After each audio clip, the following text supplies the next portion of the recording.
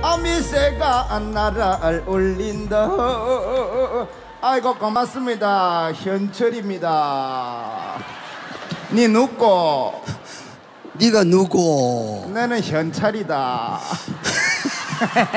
그 진짜 내하고 똑같네. 아이고 마 내하고 똑같네. 그런데? 몇 살이고? 나는 4학년 3반인데. 어 나도 4학년 3반인데. 그래? 그래 근데 눈썹하고 코하고 귀하고 왜 이래 똑같노?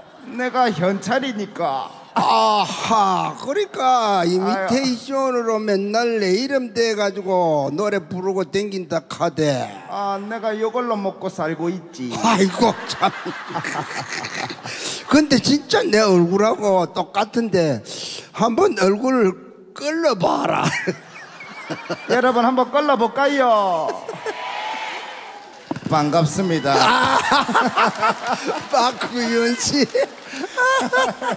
내가 이, 이 박현진 씨 봉순아 연정 작곡가 이 아들인데 내가 옛날에 이래 업고 캐왔거든. 한번 업히 봐라.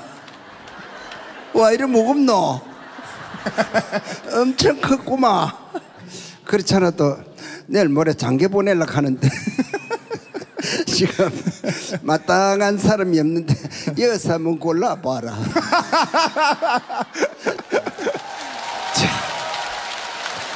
오리지널 현철은 아니지만 짝퉁 현철의 사랑은 나비인가봐 가겠습니다. 사랑은 나비인가봐.